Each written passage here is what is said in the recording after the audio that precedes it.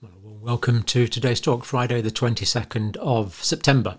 Now, I'm going to be giving pretty conclusive proof today from a peer reviewed published paper that mRNA from the COVID vaccines, the mRNA vaccines, has been found in breast milk. And this is consistent with other studies, so there's no real debate about this anymore. The mRNA from the vaccines goes into breast milk, probably for the first 48 hours after vaccination. Now, this is proof of systemic distribution of the vaccines.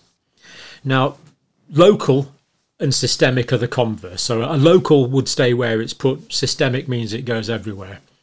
Now, the reason this is important to me and, and to you, uh, if you've been vaccinated especially, is that we were initially told by all the people in authority the regulatory bodies and our chief doctors and everything that this would just stay local. It would generate a local immune response and it would all be gone perhaps within a few hours. We know that this is not the case. Now, the problem in my mind is the evidence for this has emerged over time but these lipid nanoparticles, if these people had gone to the bother of talking to anyone who specialises in uh, pharmacokinetics, that they would have said, well, with this size of particle, it's likely to be distributed everywhere, almost certainly to be distributed everywhere. Why did they blag it? That's the thing that really annoys me. If they don't know, they should have said they don't know. And it now turns out it's systemically distributed. So after mRNA vaccine, it goes to your liver, it goes through your heart, it goes to your in this case through the breasts, probably through your thumbs and through your big toes and through your ears. It, it probably goes everywhere. And uh, it's really a pity we weren't told that. Had I been told that, that would have completely uh, reversed my decision to get vaccinated. So that's why I'm pretty cross about this. Uh, now, in the initial trials, breastfeeding mums, pregnant women, and uh, infants were excluded from the trials. Yet, the regulatory bodies still decided to go ahead and give these vaccines, which weren't tested on pregnant mums, weren't tested on lactating mothers, breastfeeding mothers, weren't tested on infants, yet, despite this lack of testing, they decided to go ahead. That's a question they really need to answer. These vulnerable groups, vaccination was advised despite the fact they were excluded from the initial trials authorised by MHRA, Medicines Healthcare Products Regulatory Authority, CDC, Health Canada, TGA, etc. Now, this study, um, it is published in a peer-reviewed journal. We'll look at that. 10 out of 13 women who were tested positive tested positive for up to 45 hours. So that's what this is about. If you'd like to stay, uh, I'd love to have you with me. Now, just before before you go, if you're a bit bored by the detail, let's just look at the uh, diagrams which are provided uh, in this research article. So what's happening here is that the vaccine is given locally into the arm. But then the uh, mRNA, uh, LNPs, lipid nanoparticles enter the bloodstream after administration and spread everywhere and probably spread in the lymphatics as well as the blood. So that's the first part of the illustration given by these uh, researchers in this paper. Then the uh, mRNA lipid nanoparticles, the synthetic messenger ribonucleic acid lipid nanoparticles are transported to the mammary glands, the breasts, via the bloodstream or possibly the lymphatics. This uh, is now known to happen. And then, of course, the uh, mRNA, synthetic mRNA, is packaged into these uh, so EVs extracellular vesicles secreted into the breast milk. So in breast milk, you've got you've got fat components, you've got dissolved proteins, but you've got these uh, extracellular vesicles, these small compartments, a bit like the body's own lipid nanoparticles, actually, that are in the breast milk, and of course they're there for remarkably good reasons that the mother gives these to the uh, to the baby. In actual fact, probably what is happening here is this is a way for the mother to give RNA to the baby naturally, packaged in these uh, th th these little vesicles, these extracellular vesicles. So this is probably a natural process, but of course, the mother giving her RNA and giving synthetic RNA are two completely different things, in my view. So that's what happens. The uh, synthetic mRNA packages in the extracellular vesicles goes into the BM, that's the breast milk. Now, this is what probably happens in the cells. So here we see that the um, what's happening here is the mRNA lipid nanoparticles enters the breast cell, the mammary epithelial cell that produces the milk. So it goes the it goes in and the RNA goes in. Uh, the vaccine mRNA is released into the cytosol, that's the liquid part, the clear part of the cell, um, the colloidal part of the cell. Now, some of that mRNA goes into developing extracellular vesicles or microvesicles or exosomes are things that are excreted from the cell. Uh, other bits goes into these uh, multivesicles, into these various things that are excreted by the uh, by the breast uh, milk producing cells. And of course, these are all completely natural. This is supposed to happen, but it's supposed to contain components and mRNA from the mother, not the synthetic form. So, pretty clear mechanism of action there as to how this is happening. Now, let's go on to look at some of the detail here because it is really quite an interesting study. So, it's in eBiomedicine, it's part of the Lancet Science Group. The background is um, Several vulnerable groups, as we've mentioned, were excluded from the trial. They weren't in the original trial, and yet the vaccine was given to them. So this is a bit of catch up, really. Uh, the possible passage of vaccine mRNA into breast milk was now confirmed, resulting from neonate, resulting in baby exposure, neonatal exposure, was not investigated. Now it is, and it's known to happen. As a result, limited research has been conducted. Pity it's happening three years or whatever it is, two and a half years later. It wasn't really done in the initial studies. Uh, they evaluated COVID 19 vaccine in mRNA detectable breast milk after the mum had been uh, vaccinated and determined its potential translational activity.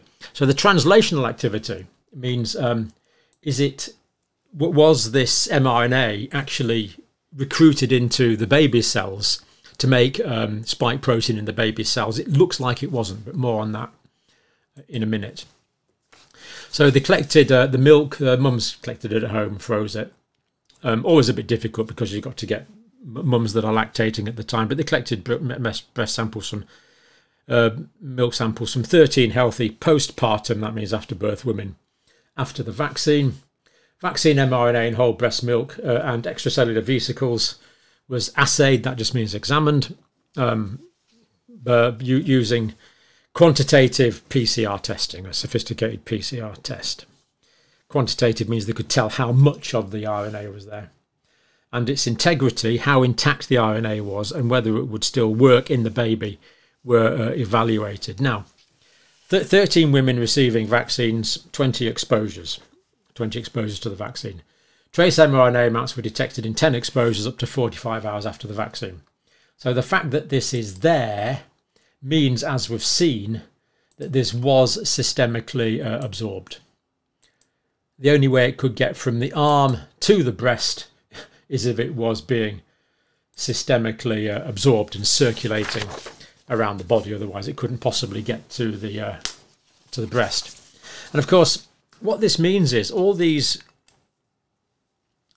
huge factories that are being built in Canada, my country, England, uh, Australia, uh, in the United States to build huge amounts of mRNA for the future um, is now based on a completely flawed, in my view, fundamental scientific problem that these lipid nanoparticles containing the instructions to make the new vaccines or whatever it is will be systemically distributed, will be absorbed into cells, for example, say in the myocardium, uh, the RNA from those lipid nanoparticles will go into cells, say in the vascular endothelium in the coronary vessels, will produce, in the case of COVID vaccine, spike protein, or if it was a flu vaccine, a flu antigen, and that's still going to cause an immunological response. It seems there is a completely fundamental scientific problem here, and yet this massive investment is going ahead looking to replace the traditional vaccines that have saved so many lives over the past hundred years or more. But the good thing about it is that the uh, the pharmaceutical companies will have new products, therefore they'll be patentable. Therefore, the income streams will be absolutely huge. Few fundamental scientific problems, but hey ho.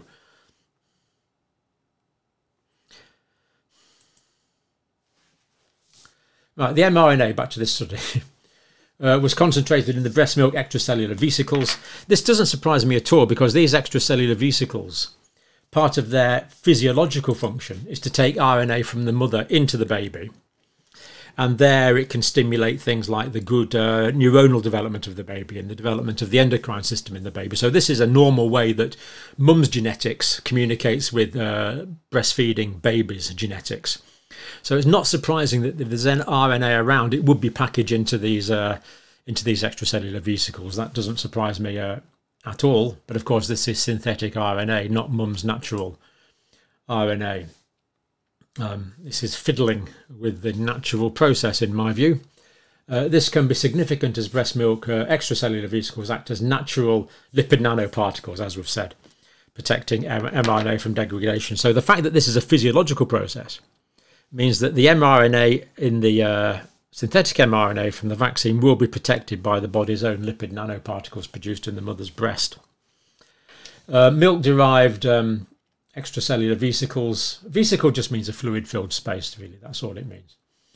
Are resistant to uh, proteoly proteolysis. That means digesting by the gastric and pancreatic enzymes uh, secretions. So they're not broken down. Um, that, that's the whole point. That they are designed uh, by uh, by the mother's breast to um, resist uh, degradation in the stomach so they can have a physiological activity in the baby. But of course, that's with mum's RNA, not with synthetic RNA. But unfortunately, it looks like the synthetic RNA can kind of hijack that, uh, that process. However, these extracellular vesicles neither expressed uh, spike protein nor so they weren't expressed in the spike protein. So it doesn't look like the spike protein is going into the milk. It looks like it's the RNA that's going into the milk, as far as I can gather from this paper. Uh, nor was it expressed in the HT29 cell line. I guess a bit technical here, but this, this HT29 cell line is cells that you can basically buy. They're used in a lot of types of research. And they're actually derived from a colon cancer tumour back in 1964, and they've been kept ever since. So that means they're basically immortal colon cells. Um, but of course, I would be more worried about this being uh, absorbed before it got to the colon, but that's what these come from, colon cells. They, it is legitimate to use them because they do somewhat mimic the uh, properties of the enterocytes, the cells that line the small intestine. But what they're saying is that when, when the, uh, the lipid nanoparticles containing the um, RNA um, from the mother's breast were exposed to these cell lines, this model, it didn't produce spike protein. But there again, neither did the controls either. So it could well be that this cell line was inappropriate for that kind of uh, inappropriate for that kind of use. Um, but that's the one we used. So it didn't induce spike protein in the cell line, nor did their controls induce spike protein. So that really doesn't tell us very much at all, actually. Uh, vaccine mRNA integrity was reduced to 12 to 25%. So, yeah, a lot of it was degraded, but some of it uh, wasn't. Now, interpretation. Our findings demonstrate that COVID 19 vaccine is not confined to the uh, injection site. This goes everywhere. Therefore, this technology, in my view, until this problem is overcome, is fundamentally flawed. And because these particles are so small, I don't really see how you would stop them going everywhere. There's a fundamental problem with mRNA um, vaccine technology until the lipid nanoparticle systemic distribution problem is solved. And yet, as we've said, we're going ahead with all these hundreds of millions of pounds and dollars worth of investment, but, but spread systemically. So it spreads all over the body and is packaged into um, breast milk extracellular vesicles. We believe breast milk post vaccination is safe, especially 14 hours after vaccination. That is their current finding. Um, more work, I would say, though, is needed on that. Um, given what they know, uh, there, well, I can't really say whether they're right or wrong on that, but as I've said, the main thing here is we do have the systemic distribution, which is the most concerning thing, and the RNA is in the breast milk. Um, and of course, a lot of this work is based on these cell cultures, not on real live human beings. Surely you would think that the CDC and the MHRA, MHRA and the Therapeutic Goods Administration would launch immediate uh, large scale epidemiological surveys to find this out. If they have launched those, I haven't heard of them. I'll keep you informed. See, if there's a theoretical problem identified in a small scale study, identified in a laboratory, obviously that needs further research. But of course, further research could bring out facts which were, oh, I don't know, inconvenient. Further investigation is required to determine the minimum amount of mRNA needed. So even this little bit that gets through, maybe that is having a response in newborns. We simply uh, don't know. Um, since the minimum mRNA vaccine dose to elicit an immune reaction in children less than six months is unknown, again, we don't know that, then what it's saying is that mums and healthcare providers should have a chit chat uh, before mothers are vaccinated if they're lactating. Um, now, okay, I can't imagine most healthcare providers would know. it's not as if you're talking to some oracle from Delphi or some tablets of stone from Mount Sinai. Um, um, but yeah, there could be new research that comes along, I suppose. But um, at the moment, I don't think we simply know. And if you don't know in medicine, then we should err on the side of caution. What is wrong with the precautionary principle? Don't guess. Know before you intervene. There's an audacity to intervening. We need humility, not arrogance. Funding of this, not national, this was funded by the Department of Pediatrics. Uh, Long, uh, this is in uh, Long Island, Long Island near New York Medical School. So, pity this isn't a, a nationalised CDC uh, type study mRNA COVID vaccines comprise lipid nanoparticles that contain mRNA coding for SARS coronavirus 2 protein as the active component, as we know, and they get everywhere. They just spread around. Relatively little has been reported on tissue localization of lipid nanoparticles after intramuscular injection. Well, we're reporting on it now. We get systemic spread. It goes around the body. Following intramuscular administration, the uh, vaccine lipid nanoparticles were rapidly disseminated to several organs. Well, we now know that. Where they could potentially cause an inflammatory reaction just by nature of the lipid nanoparticles, and of course, the RNA could produce antigens which would stimulate further inflammatory and potentially cell destroying activity from the cytotoxic T cells. That's what cytotoxic T cells do. Potential translational activity were not fully evaluated. In other words, whether that's producing, in this case, um, spike protein in the baby. Looked like it wasn't, but that wasn't fully evaluated. But given that this happens physiologically, um, I think probably some more work needs to be done on that. So let's just close with these pictures. There is systemic distribution. It does go to the breast. It does go into the breast milk Babies drink it, and that's how it goes into the breast milk. The RNA goes into the breast milk. Evidence of systemic distribution. I would therefore, as a result that we now know about the systemic distribution, call on a uh, review of the huge investment that has been made uh, into new mRNA technologies, or falling short of that, that the people building these factories give us really good reasons why lipid nanoparticles will not be systemically distributed in their new uh, products. But to quote Star Trek, you couldn't change the laws of physics. You know, these things are so tiny, they just go everywhere. We'll leave it there for today. It is a concern. And uh, let us, us as a human race, proceed with uh, humility. Although I don't think there's much chance of that. But uh, thank you for watching.